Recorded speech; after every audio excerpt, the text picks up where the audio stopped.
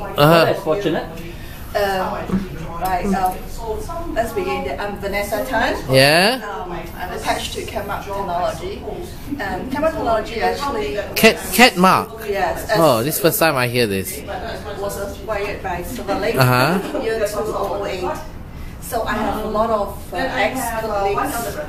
They are from the same company as I do. Ah. Um, Fatimas. Oh, oh, Fatima. Ah, okay. So I'm also from Fatimas. Ah.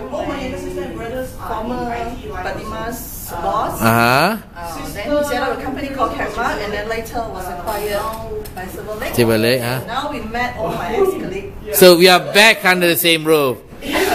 Happy family. Yes. Yes. Um, I'm married with two kids. Uh, and